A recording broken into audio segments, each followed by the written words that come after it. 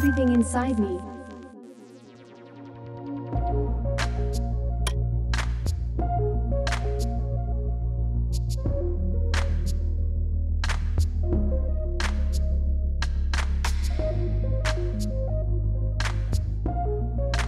In the Hollywood blockbuster, Noah, the creator of this world, is portrayed as an evil homicidal maniac that utterly hates humanity. And the serpent is portrayed as the one holding the secret that will restore the divine spark to humanity. Unfortunately, most Christians, even those that have reviewed this film negatively, have totally missed the Luciferian Gnostic themes that are being openly promoted by this film. Director Darren Aronofsky has expertly woven elements of Luciferianism, Gnosticism, and even from the Kabbalah throughout the film. Over the years, hundreds of millions of people all over the world that watch this movie will be exposed to the Luciferian gospel without even realizing it. There are many different strands of Gnosticism, but in the version that I call Luciferian Gnosticism, the creator of this world is an evil, being known as the Demiurge, and the serpent is a good being that possesses the secret knowledge, or gnosis, that will help humanity rediscover the divine spark that already resides inside of them. The following is how Wikipedia describes how the Gnostics tend to view God.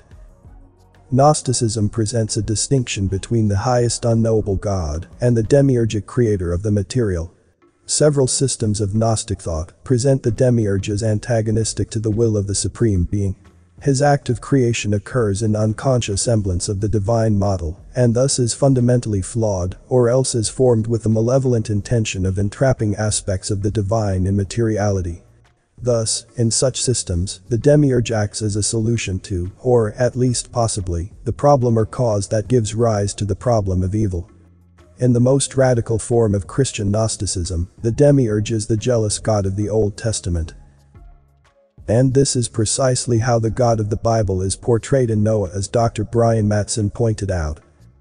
Except that when Gnostics speak about the Creator, they are not talking about God, Oh, here, in an affluent world living off the fruits of Christendom, the term creator generally denotes the true and living God. But here's a little Gnosticism 101 for you. The creator of the material world is an ignorant, arrogant, jealous, exclusive, violent, low-level, bastard son of a low-level deity. He's responsible for creating the unspiritual world of flesh and matter, and he himself is so ignorant of the spiritual world, he fancies himself the only God, and demands absolute obedience. They generally call him Yahweh. Or other names too, Ialdabaoth for example. This creator tries to keep Adam and Eve from the true knowledge of the divine, and, when they disobey, flies into a rage and boots them from the garden. In other words, in case you're losing the plot here, the serpent was right all along. This God, the creator, whom they are worshipping, is withholding something from them that the serpent will provide. Divinity itself. In Noah, essentially the creator is the bad guy, and the serpent is the good guy, just like in hardcore Gnosticism. Before I continue the video, please give a like if you've learned something. And don't forget to subscribe and also click the notification bell too so you won't miss any update. And watch to the end to avoid misunderstanding. Thank you. Another way that Gnosticism manifests itself in the film is that Adam and Eve are portrayed as bright, shiny, luminescent beings before the fall. It is only after the fall that they take on flesh and bone. This is also pure Gnosticism. In the 2nd century AD, Irenaeus of Lyon wrote the following regarding what one particular group of Gnostics believed. Adam and Eve formerly had light, luminous, and so to speak spiritual bodies, as they had been fashioned. But when they came here, the bodies became dark, fat, and idle. We can also find this doctrine in Kabbalism according to Dr. Mattson. It occurred to me that a mystical tradition more closely related to Judaism, called Kabbalah, which the singer Madonna made popular a decade ago or so, surely would have held a similar view, since it is essentially a form of Jewish Gnosticism. I dusted off. No, really, I had to dust it. My copy of Adolphe Franck's 19th century work, The Kabbalah, and quickly confirmed my suspicions. Before they were beguiled by the subtleness of the serpent, Adam and Eve were not only exempt from the need of a body, but did not even have a body, that is to say, they were not of the earth. And guess what? Dr. Mattson also pointed out that Aronofsky's very first feature film was all about the Kabbalah. I discovered what Darren Aronofsky's first feature film was. Pi. Want to know its subject matter? Do you? Are you sure?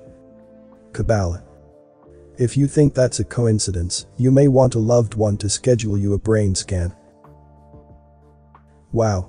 When I first read that, I was absolutely stunned a movie that is openly promoting Gnosticism and Kabbalism, has been pawned off to Christians as a biblical movie, and millions of them are falling for it hook, line, and sinker. In Gnosticism, humanity has a dual nature. The physical part comes from the evil creator, but there is also a good part that comes from the true God. According to Gnostic belief, the evil creator is constantly trying to keep humanity from discovering the divine spark that supposedly resides within us all. The following is a brief summary of how the Gnostics view humanity. Human nature mirrors the duality found in the world. In part it was made by the false creator God, and in part it consists of the light of the true God. Humankind contains a perishable physical and psychic component, as well as a spiritual component which is a fragment of the divine essence. This latter part is often symbolically referred to as the divine spark. The recognition of this dual nature of the world and of the human being has earned the Gnostic tradition the epithet of dualist. Humans are generally ignorant of the divine spark resident within them. This ignorance is fostered in human nature by the influence of the false creator and his archons, who together are intent upon keeping men and women ignorant of their true nature and destiny. Anything that causes us to remain attached to earthly things serves to keep us in enslavement to these lower cosmic rulers. Death releases the divine spark from its lowly prison, but if there has not been a substantial work of gnosis undertaken by the soul prior to death, it becomes likely that the divine spark will be hurled back into, and then re-embodied within, the pangs and slavery of the physical world. Not all humans are spiritual, or pneumatics, and thus ready for gnosis and liberation. Some are earthbound and materialistic beings, or hyletics, who recognize only the physical reality. Others live largely in their psyche, or psychics. Such people usually mistake the demiurge for the true God and have little or no awareness of the spiritual world beyond matter and mind. In Gnosticism, secret knowledge, or gnosis, is the key to liberation and enlightenment. And who provides that secret knowledge? It comes from the serpent. He was trying to provide that secret knowledge about the divine spark to Adam and Eve in the Garden of Eden, and he has supposedly been doing that ever since. In Noah, this secret knowledge is represented by the serpent skin that shows up throughout the film. In the movie, this serpent skin was supposedly shed by the serpent in the Garden of Eden. Here is another excerpt from Dr. Brian Mattson's article. The action opens when Lamech is about to bless his son, Noah. Lamech, rather strangely for a patriarch of a family that follows God, takes out a sacred relic, the skin of the serpent from the Garden of Eden. He wraps it around his arm, stretches out his hand to touch his son, except, just then, a band of marauders interrupts them, and the ceremony isn't completed. Lamech gets killed, and the villain of the film, Tubal Cain, steals the snakeskin. Noah, in other words, doesn't get whatever benefit the serpent skin was to bestow. This movie is Luciferian to the core. It is just another step in the massive ongoing propaganda campaign to convince the world that the creator God of the Bible is evil and that Lucifer, the light bearer, is good and is trying to bring enlightenment to humanity. Comment below with more topic ideas for me to discuss. As a lot of care and hard work goes into this, likes and subscribe, let me know I'm doing a good job. All is appreciated greatly. You may not agree with everything from the content I post. Apply critical thinking and use discernment to come to your own conclusions regarding the content. Thanks for watching this video. This Everything Inside Me channel, see you on the next video. Stay safe and healthy.